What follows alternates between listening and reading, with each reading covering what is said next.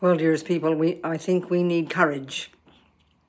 What I mean by that is, you know, every second of the day we're, we're sort of anxiously hoping nice things will happen, hoping the things we want will happen, hoping the things we don't want won't happen, you know, we're, we're kind of constantly navigating all the time. But we have to have this courage just to know what we want and then to move forward. And then when the unexpected happens, you stub your toe or whatever it might be. Like when I was in my youth, someone held me up with a gun.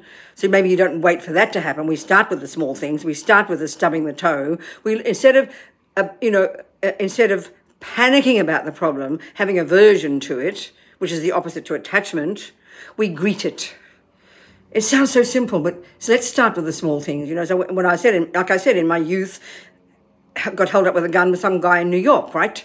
Out of the blue, this gun in my chest. I didn't expect it. And somehow my nature being a bit sort of, you know, whatever. And I remember thinking very clearly he's more afraid than me. And then very clearly thinking how ridiculous. There he is saying, give me your money. And I said, this is ridiculous. Just, we're just as poor as you. Give me your money. Back and forth for a few minutes. It was ridiculous. But in the end, he walked away, you know.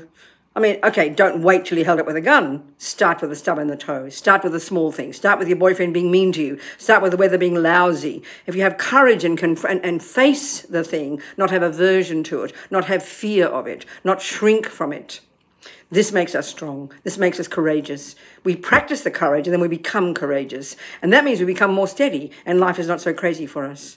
Sounds easy, but it's possible. And it starts, of course, as always, with knowing our minds, you know.